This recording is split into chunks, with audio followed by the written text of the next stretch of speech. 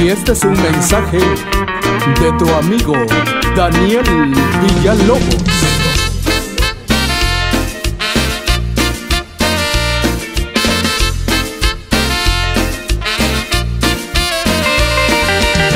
Yo soy la tierra, la tierra que te da la vida, yo soy la tierra, que siempre te da de comer. mas tú no sabes, Cómo me duelen tus heridas serás culpable. por no saberme proteger. Tú ve y pregúntale a tu madre si es que podría ser feliz.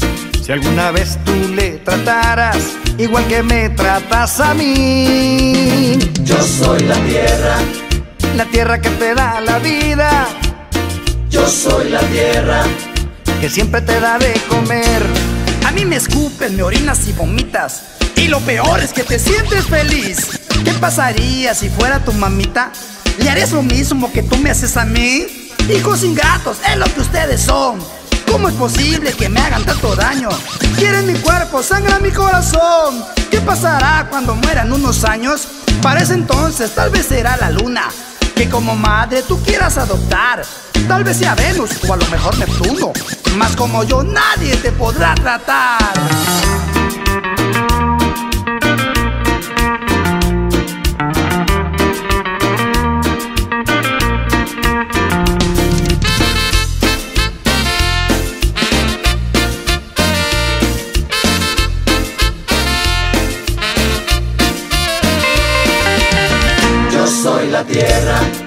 La tierra que te da la vida, yo soy la tierra, que siempre te da de comer, yo soy la tierra, que sufre por tantas heridas.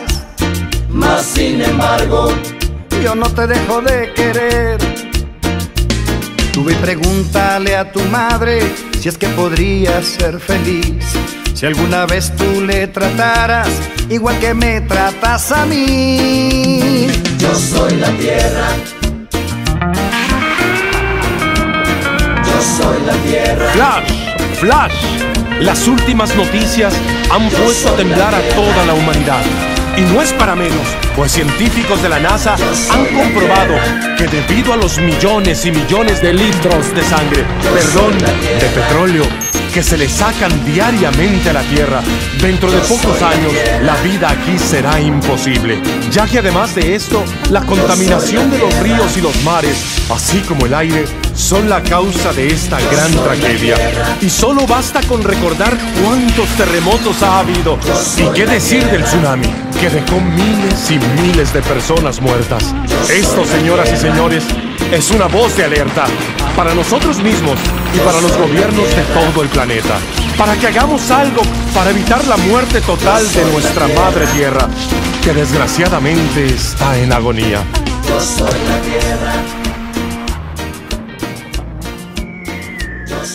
tierra.